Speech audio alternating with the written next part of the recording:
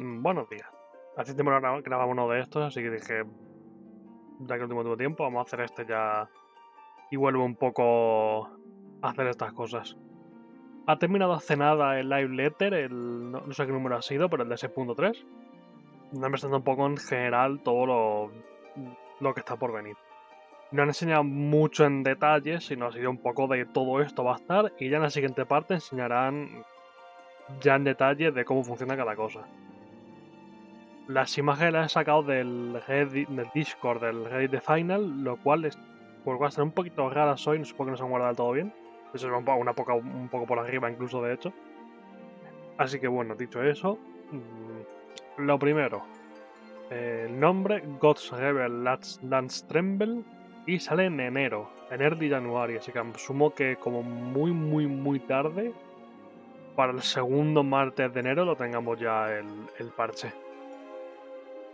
Mm, nueva main escenario quest, lo esperable, nueva side quest de Tataru, eh, Trial los Trails of the Newfound, que aún no he hecho ninguno creo, voy a hacerlos. Y más, a ver, más cosas de Hildebrand, como era de esperar. Pues ve incluso pequeño por algún motivo esta. De hecho, tan grande miedo. Eh, nuevas Tribal Quest, que van a ser los Loporis, van a ser de crafting, como pone ahí.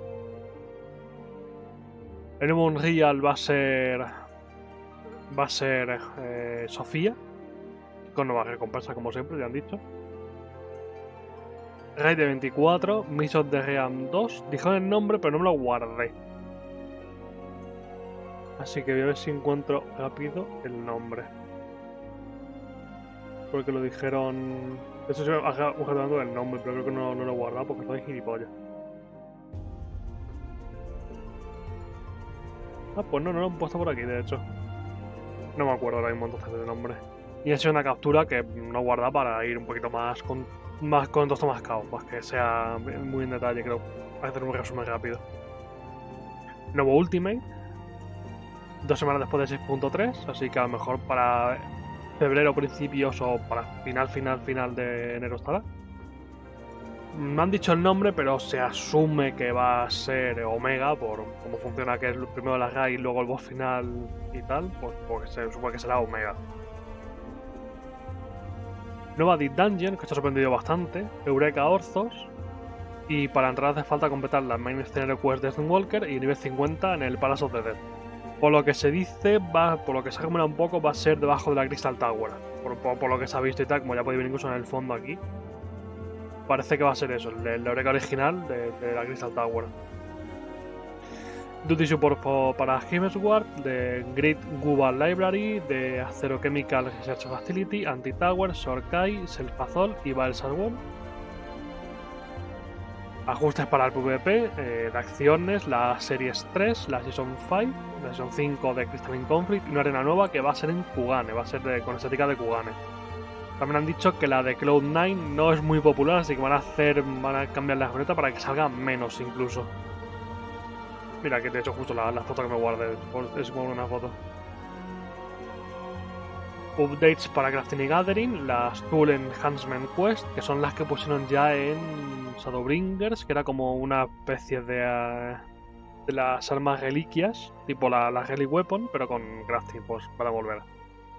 Y unas custom library nuevas que han enseñado uno de los slime de. Eh, se me olvida siempre el nombre de la zona, la de, la de las pixies de mm, Shadowbringers que era un, un slime de esto que es todo de hojas. No es nada más, así que mm, tendrá que ver con las pixies, no se sabe quién es. Más, más updates.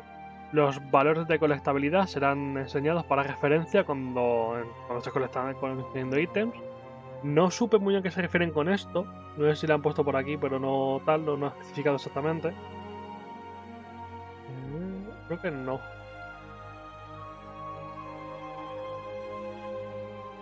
Eh, no, no han dicho nada. Eh, Primary Fishing Location, bait preferido y mediciones adicionales se han ido a la Fish Guide. Y una nueva zona con Spearfishing en Upper Lanostea. Va a ser la primera zona de Rambley One con bucear. Va a ser la zona de Nirn. Donde está el castillo este hundido y tal. esta ciudad de, de Ninita, pues ahí va a ser, va a ser a bucear en todo ese agua, enseñan una foto por debajo y tal, pero tampoco ha visto mucho. Cosas para la isla, que esto no me lo esperaba. Eh, nuevos rangos y visiones. Nuevas recompensas, obviamente, lo esperable. Materiales, cultivos, animales y, y herramientas. Así que supongo que se ampliará más la isla. Nuevas estructuras. Eh, la habilidad de poder guardar los settings de Orchestrions. Los visitantes ahora escuchan la música que tengas puesta. Y notificaciones de cuando alguien entre en tu isla. Asumo que te notifican, incluso estando- fuera, porque pueden entrar aunque tú no estés dentro, pero estés conectado. Asumo que aparece un mensaje en el chat o, o algo así súper súper sencillo. Updates para la Treasure Hunt, con una nueva mazmorra de Sistine Gymnasium Agonon, que va a ser en Elpis. No enseñaron nada, supongo que será en la siguiente parte. Vamos a hacer update con un nuevo curso, una nueva pista para el Leap of Faith. Mejora de la interfaz, que aquí han venido cosas bastante interesantes, como esta, que ahora se mostrará el tipo de daño que te hacen. Si es físico la espadita, si es mágico el bastón y si es único el este verde. Lo cual pues, se agradece bastante, especialmente para de Cash, que es más que queremos mitigar mágico, cosas del estilo, se agradece. Más cambios en la interfaz, ahora se mostrará un timer con el tiempo que queda los buffos y debuffos de, en, la, en party list. Lo cual, joder, por fin ya le va siendo hora. Un nuevo tema para el Wii, como está el clásico ahora y estaba el de Light y el normal, pues un nuevo tema que no han dicho nada. Yo sí me parece que ni lo ha visto él mismo, con lo cual aún ni se sabe cuál va a ser.